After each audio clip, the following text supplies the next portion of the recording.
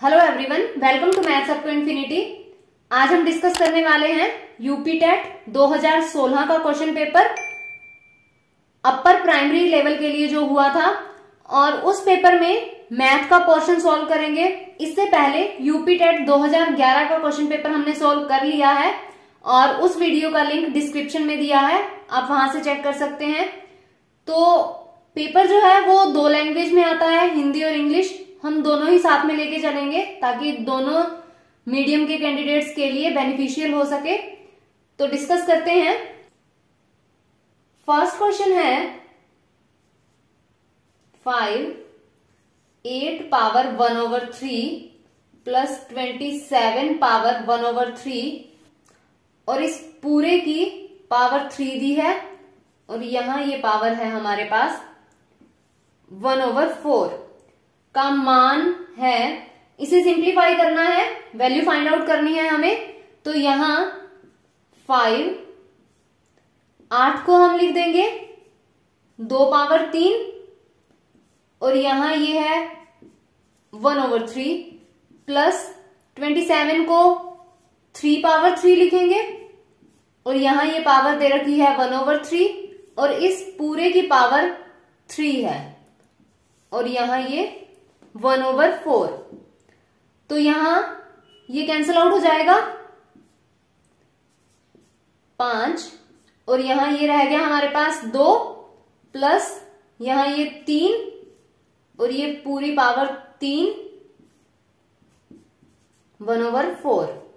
तो ये बन जाएगा यहाँ फाइव और ये भी यहाँ फाइव हो गया, और यहाँ ये पावर दी है थ्री और ये वन ओवर फोर। तो यहाँ मल्टीप्लाई करने की ज़रूरत नहीं है, सीधा ही लिख देते हैं, क्योंकि बेस सेम है और पावर एड हो जाती है, यहाँ वन है तो ये हो जाएगा फाइव पावर फोर और ये वन ओवर फोर दिया है। ये भी कैंसल आउट तो यहाँ फाइव हमारा आंसर आ जाएगा और यहाँ से ऑप्शन ए करेक्ट हो जाएगा। नेक्स्ट क्वेश्चन है पेट्रोल की कीमत 25 प्रतिशत की दर से बढ़ जाती है पेट्रोल पर खर्च न बढ़े, इसके लिए यात्रा में कटौती करनी पड़ेगी। बताना है कि कितने प्रतिशत कटौती करनी पड़ेगी? इंग्लिश में भी देख लेते हैं। The price of petrol increase by 25 percent in order that expenses on petrol should not increase one must reduce travel by तो यहाँ इसके लिए एक डायरेक्ट फॉर्मूला होता है। अगर इंक्रीज हो रहा है, कीमत बढ़ रही है जितने भी परसेंट हम मान लेते हैं आर परसेंट बढ़ रही है तो ये क्या हो जाएगा? आर बटे सो प्लस आर और यहाँ गुना हो जाएगी सो से।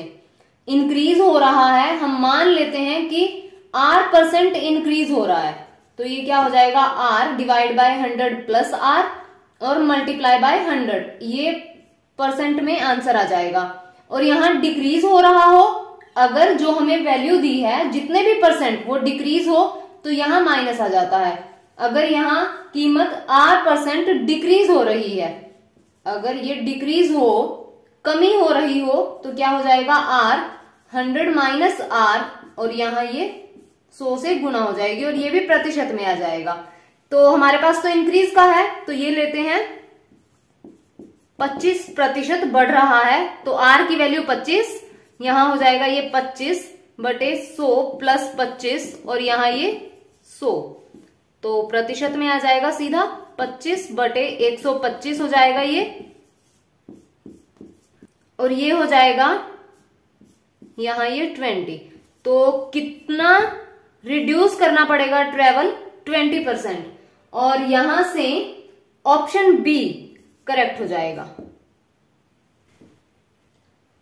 नेक्स्ट क्वेश्चन है, एक वृत्ताकार पार्क बनाने का प्रस्ताव किया जाता है, जिसका क्षेत्रफल 16 मीटर और 12 मीटर व्यास वाले दो वृत्ताकार पार्क के क्षेत्रफलों के योग के बराबर है। नए पार्क का अर्ध व्यास क्या होगा? मतलब रेडियस हमें फाइंड आउट करनी है। तो यहाँ हमें जो दो वृत्त दे रखे हैं, एक वृत्त, जैसे ये दो वृत्त हैं, और इसका जो व्यास है ध्यान रहे, ये व्यास दिया है हमें 16 मीटर और ये 12 मीटर। और जो हमारे पास वृत्त है, उसका क्षेत्रफल इन दोनों वृत्तों के क्षेत्रफल के जोड़ के बराबर है। तो हम मान लेते हैं कि उस वृत्त का क्षेत्रफल पाई आर स्क्वायर है। उसकी रेडियस को हम आर ले रहे हैं। और ये आर वन, ये जो, ये वाला वृत्त है, आर वन ले लेते हैं। ये व्यास है तो आर वन कितनी हो जाएगी? सोलह बटे दो, ये आठ सेंटीमीटर और ये आर टू ले लेते हैं, ये बारह बटे दो छ सेंटीमीटर तो यहाँ जोड़ के बराबर है तो क्षेत्रफल जोड़ देते हैं। आर वन के लिए क्या हो जाएगा? पाई. ये आर वन स्क्वायर, यहाँ लिख देते हैं, चलो। Pi R two square. तो यहाँ ये बना पाई. पाई तो यहाँ भी है, यहाँ भी यहाँ भी. तो ये कैंसिल आउट ही हो जाएगा. पाई कॉमन ले लेते हैं और साथ में वैल्यू रख देते हैं। क्या बनेगा ये? आर वन है हमारे पास आठ सेंटीमीटर आठ स्क्वायर प्लस आर टू है छ सेंटीमीटर तो ये छ स्क्वायर हो जाएगा। पाई से pi cancel out r square बराबर ये चौसठ प्लस छत्तीस हो जाएगा और यहाँ से ये हंड्रेड तो आर की वैल्यू क्या हो जाएगी हमारे पास? दस सेंटीमीटर तो आर था क्या? जो वृत्ताकार पार्क बनाना है उस वृत्त की त्रिज्या। आर 10 सेंटीमीटर हमारे पास ये वैल्यू आ गई है और यहाँ से ऑप्शन ए करेक्ट हो जाएगा। नेक्स्ट क्वेश्चन किसी घन का किनारा आर सेंटीमीटर है, जो हमें घन की भुजा दी है, वो आर सेंटीमीटर है और यदि इसमें से संभावित बड़े से बड़ा लंब वृत्तीय शंकु काटा जाता है तो शंकु का आयतन हमें फाइंड करना है। An edge of a cube measures r centimetre if the largest possible right circular cone is cut out of this cube then the volume of the cube तो यहाँ आर सेंटीमीटर हमें साइड दे रखी है किसी cube की। तो जब हम कोई राइट सर्कुलर कोन कट करेंगे तो जो डायामीटर बनेगा कोन का, वो कितना हो जाएगा? आर सेंटीमीटर कोई भी क्यूब है, अगर हम यहाँ क्यूब बनाते हैं तो ये क्यूब है। जब हम कोन कट करेंगे तो जो ये वाली पूरा, ये क्या हो जाएगा? हमारे पास डायामीटर हो जाएगा। तो यहाँ आर सेंटीमीटर डायामीटर हुआ कोन का। तो रेडियस कितनी हो जाएगी कौन की? आर ओवर टू सेंटीमीटर हमें वॉल्यूम फाइंड आउट करनी है। आयतन चाहिए। तो आयतन के लिए क्या फॉर्मूला होता है? किसी शंकु का एक बटे तीन पाई आर स्क्वायर एच तो आर भी चाहिए, यानी रेडियस भी चाहिए और हाइट भी चाहिए। तो हाइट कितनी हो जाएगी? हाइट तो पूरी ये आर हो जाएगी। ऊंचाई हो जाएगी हमारे पास आर सेंटीमीटर यहाँ हम वैल्यू रख देते हैं। तो ये क्या होगा? एक बटे तीन, यहाँ पाई, आर स्क्वायर। आर हमारे पास कितना है? आर ओवर टू तो आर ओवर टू स्क्वायर हो जाएगा, और एच की वैल्यू कितनी है? आर। यहाँ से ये बनेगा एक बटे तीन pi, r square over four और ये आर। एक बटे बारह हो जाएगा ये, और यहाँ पाई आर पावर तीन। सेंटीमीटर क्यूब हो जाएगा। तो ये वैल्यू आ जाएगी हमारे पास और यहाँ से ऑप्शन बी करेक्ट हो जाएगा। ऑप्शन बी इसमें करेक्ट बनेगा। अगला क्वेश्चन है, यदि तेरह पावर पचास को चौदह से भाग किया जाए तो शेषफल क्या होगा? तो इसे डिवाइड करना है हमें चौदह से। तो मल्टीप्लाई तो करेंगे नहीं, तेरह को पचास बार इसके लिए हम अलग अलग से ले लेते हैं। जैसे तेरह पावर एक को जब हम चौदह से भाग करेंगे, तेरह पावर एक मतलब तेरह तेरह को जब हम चौदह से भाग करेंगे तो शेषफल तेरह ही होगा, क्योंकि तेरह ऑलरेडी छोटा है चौदह से तो यहाँ हम शेषफल लिख देते हैं। तेरह शेषफल आ जाएगा। तेरह पावर दो को करेंगे, तेरह को तेरह से गुना करते हैं, वन सिक्स नाइन, और यहाँ जब हम चौदह से इसको भाग करेंगे तो शेषफल यहाँ आ जाएगा एक।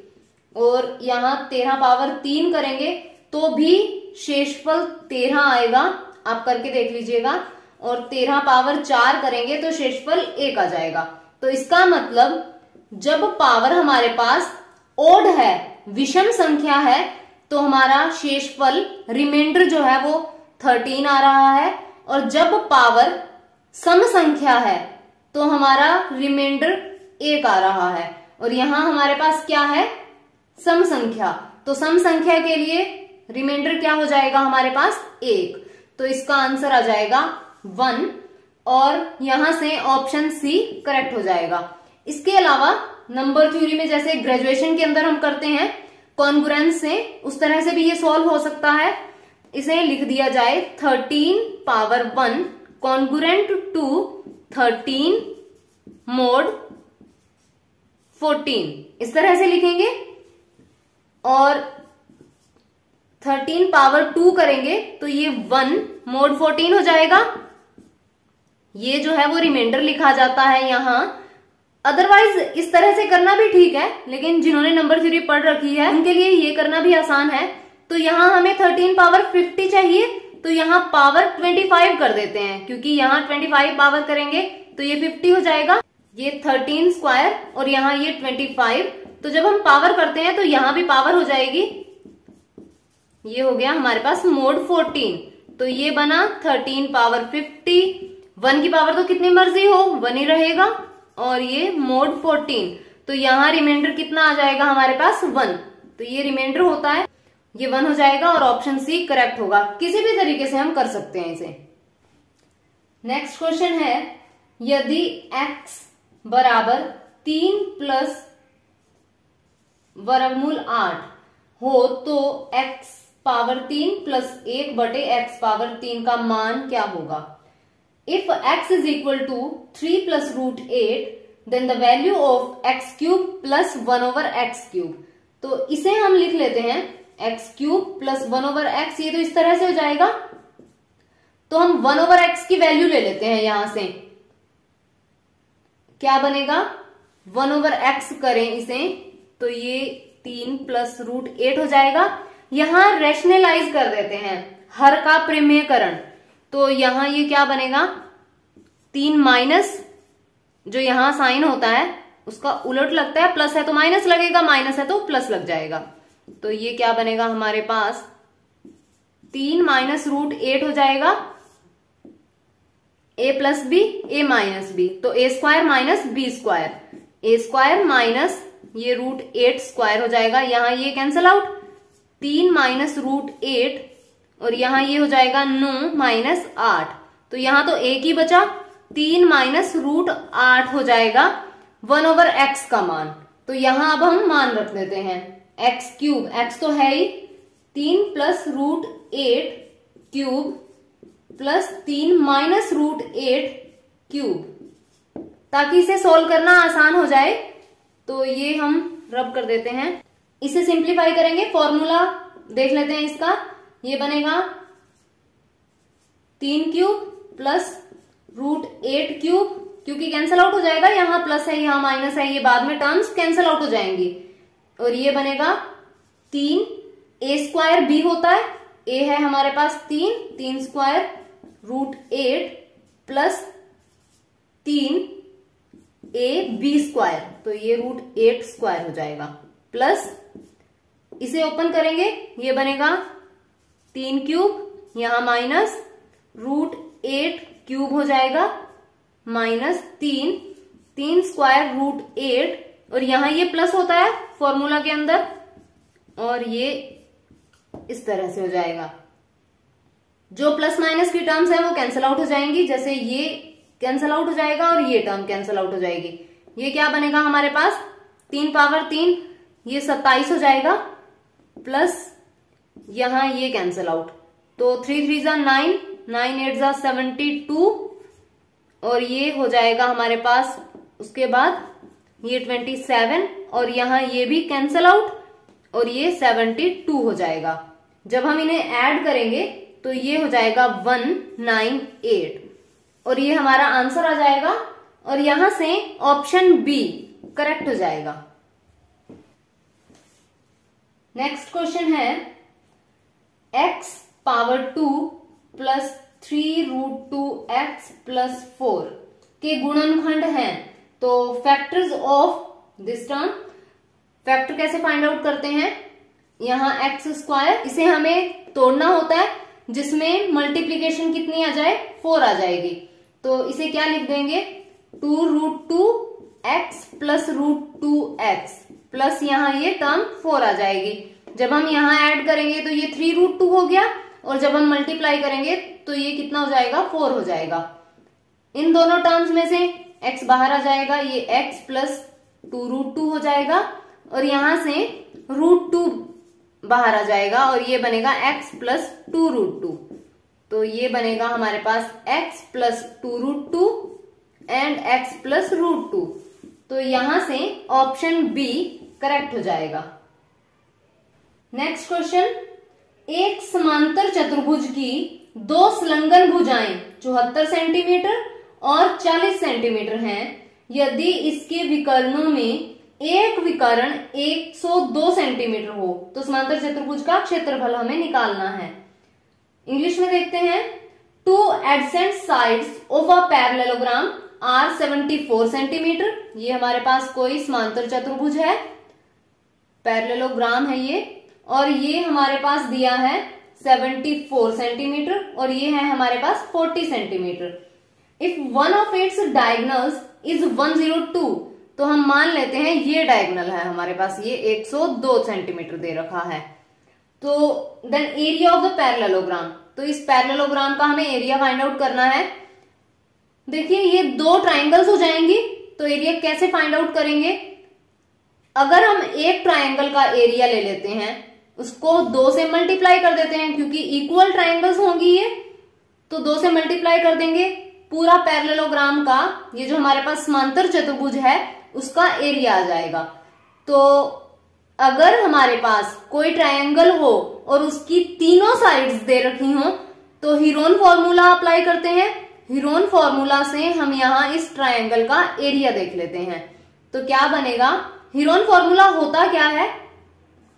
अगर कोई ट्रायंगल है, जैसे ये ए बी सी ले लेते हैं, इनकी साइड्स हैं तो सबसे पहले हमें s semi perimeter find out करना होता है। क्या बनेगा ये? A plus b plus c over two साथ के साथ यहाँ अप्लाई करते हैं। क्या बनेगा? एस हमारे पास 40 प्लस चौहत्तर प्लस 102 और यहाँ डिवाइड हो जाएगा ये दो से। तो इन्हें जब हम ऐड करेंगे, ये बनेगा 216 बटे दो। तो 108 आ जाएगा। ये हमारे पास वैल्यू आ गई है एस की। उसके बाद क्या करना होता है? रूट के अंदर ये एस लिखा जाएगा। S minus a s minus b s minus c करेंगे। तो ये एरिया आ जाएगा। एस की वैल्यू है 108 और इसे हम लिख लेते हैं 108 108 माइनस एक एक साइड है माइनस करनी।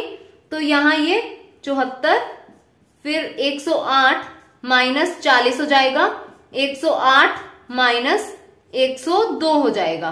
तो जब हम इसे लिखेंगे ये बनेगा 108 और यहाँ ये बन जाएगा हमारे पास चौतीस और ये बन जाएगा अड़सठ और ये बनेगा छ अब हम यहाँ सिंप्लीफाई करेंगे। इसे मल्टीप्लाई करके रूट फाइंड आउट करने की ज़रूरत नहीं है। यहाँ अंदर हम इसे फैक्टराइज कर लेते हैं ताकि जो पेयर में आएँगे, जो जोड़े बनेंगे, यानी कि हमें तो रूट चाहिए ना, जो डबल टाइम आएगा, वो सिंगल टाइम हम बाहर लिख लेंगे। तो करते हैं। तो ये क्या बनेगा? 108 को लिखते हैं। ये बन जाएगा हमारे पास two multiply two multiply three three and three. अगर ये ना पता चले किस तरह से लिखना है तो जैसे एफ़ करते हैं। ये टू हो जाएगा, यहाँ ये हो गया हमारे पास फिफ्टी फोर फिर टू पे ये ट्वेंटी सेवन फिर थ्री ये इस तरह से देख लेंगे किस तरह लिखा जाएगा। प्राइम फैक्टर्स ही हैं, अभाज्य गुणनखंड जो होते हैं। और यहाँ थर्टी फोर है, इसे लिख देंगे दो गुना सत्रह। और उसके बाद है अड़सठ, इसे लिख देंगे दो गुना दो गुना सत्रह। और उसके बाद है छ तो दो गुना तीन हो जाएगा। अब हम देख लेते हैं यहाँ, ये प्राइम फैक्टर कौन से बनेंगे? इन दो गुना दो में से एक दो बाहर आ जाएगा, यहाँ से एक तीन बाहर आ जाएगा उसके बाद इस तीन और ये तीन। एक तीन लिख लेंगे, यहाँ से और यहाँ से। दो लिख लेंगे, सत्रह और सत्रह में से एक सत्रह आ जाएगा और ये दो आ जाएगा। इन सभी को गुना कर देंगे और जब हम इन्हें मल्टीप्लाई करेंगे तो ये आ जाएगा हमारे पास 1224 सेंटीमीटर स्क्वायर क्षेत्रफल है ना? तो ये स्क्वायर आ जाएगा।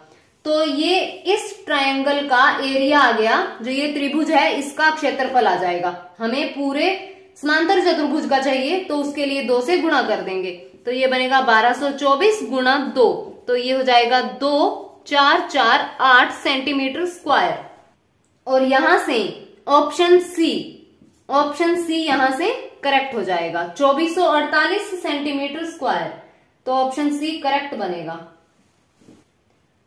नेक्स्ट क्वेश्चन है, यदि एक सम बहुभुज का प्रत्येक बहिष्कोण 18 डिग्री है 18 डिग्री दिया है तो बहुभुज के भुजाओं की संख्या।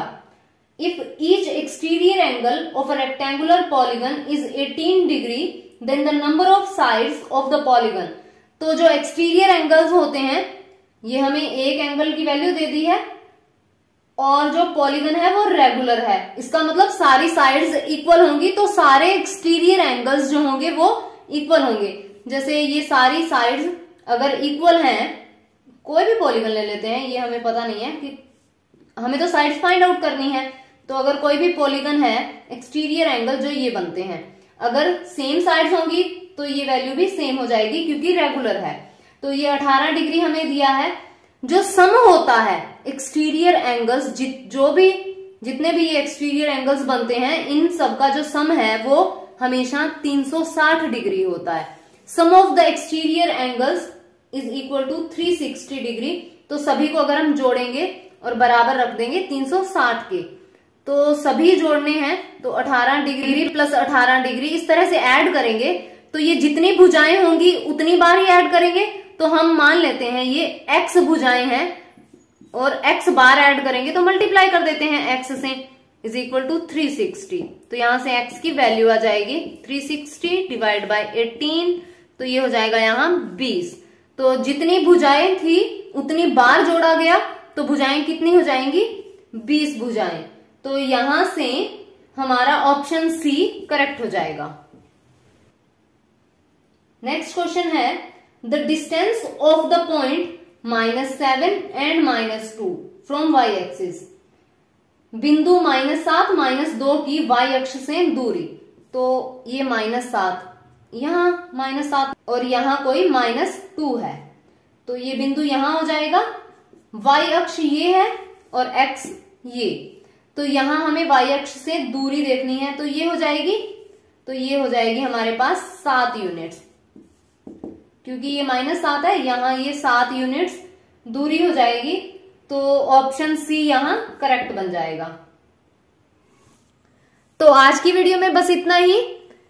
इसके जो बाकी के क्वेश्चंस हैं 2016 यूपी टेट के मैथ्स के जो बाकी क्वेश्चंस हैं, वो हम नेक्स्ट वीडियो में डिस्कस करेंगे। तो अगर वीडियो पसंद आए तो लाइक कीजिए शेयर कीजिए एंड चैनल को सब्सक्राइब कीजिए and press the bell icon to get the notifications